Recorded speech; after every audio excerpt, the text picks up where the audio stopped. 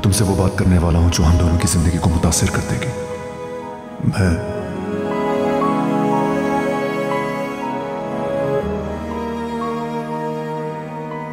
मैं तुमसे बहुत हो चुका। मैं अब और बर्दाश्त नहीं कर सकती। क्या हम चले आपा इस शहर नागिन को इस घर से निकलना ही होगा इसी वक्त। इस चुड़ैल ने यमान को अपने झूठ से बहुत बेवकूफ़ बना लिया।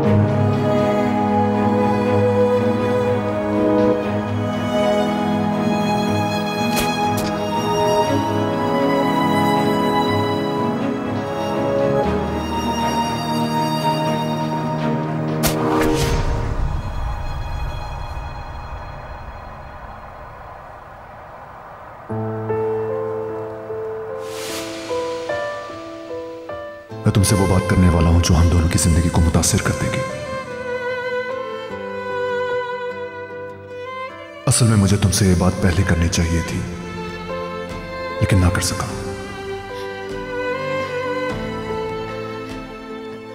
बहुत गर्मी नहीं हो गई यहाँ पे। मैं खिड़की खोल दूँ। बाद में खोल लेना। ज़्यादा लंबी बात नहीं करूँगा मैं।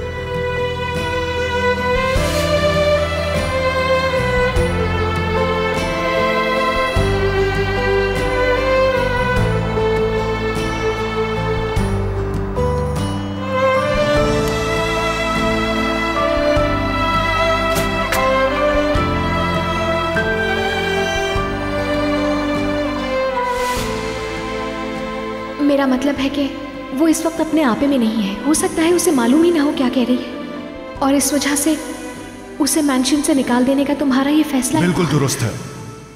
वो इससे भी ज़्यादा की मुस्तक है। कोई भी कोई भी मेरी बीवी के बारे में ऐसी बातें नहीं कर सकता।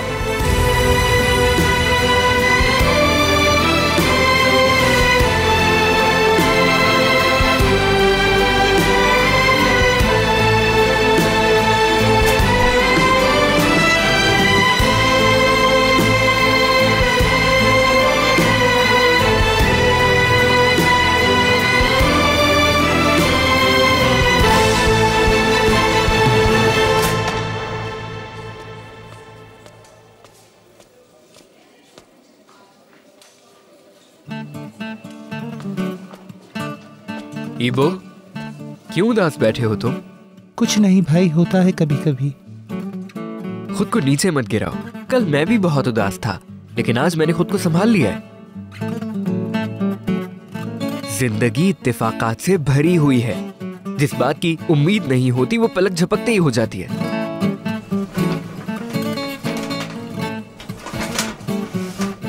ये क्या है भाई? क्या तुम ये केक नहीं खा रहे?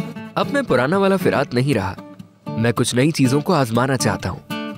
और ज़िंदगी को एंजॉय करना चाहिए क्योंकि ज़िंदगी केक के जायके की तरह मज़ेदार है।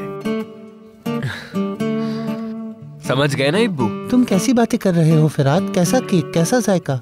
कोई बात नहीं थोड़ा सा खा लो। बहुत मज़ेदार है ये तुम्हें बहुत अच्छा लगेगा मेरे दोस्त।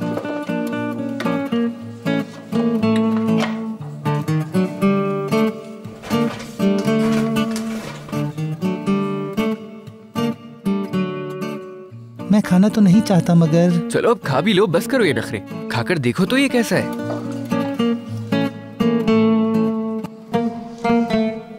मज़ेदार थोड़ा और खा लेता हूँ।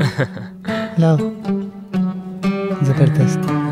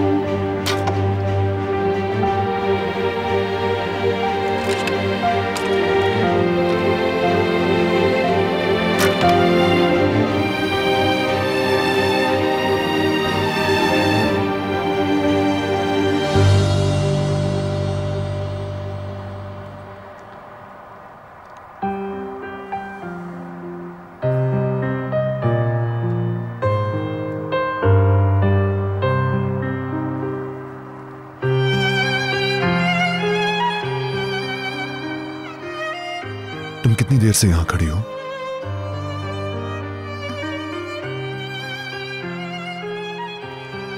बहुत देर नहीं हुई।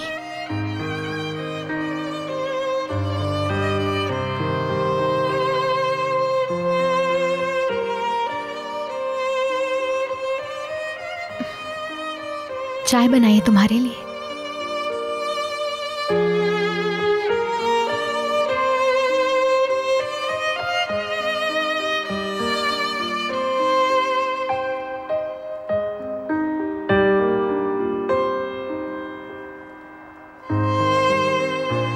तुम्हें सर्दी लग रही है।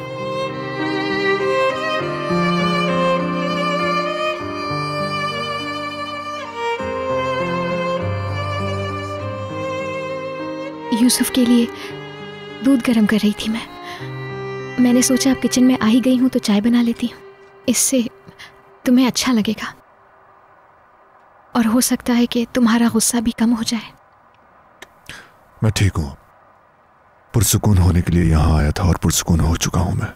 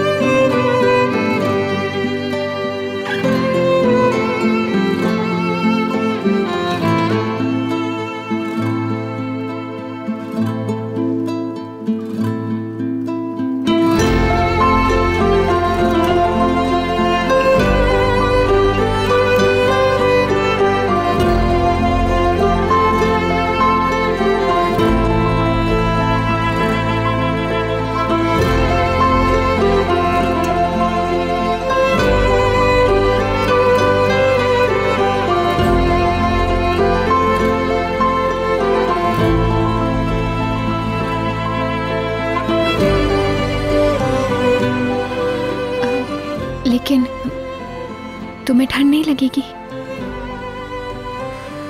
मेरी फ़िक्र मत करो तुम। तुम यहाँ खड़ी मत रहो। चलो अंदर।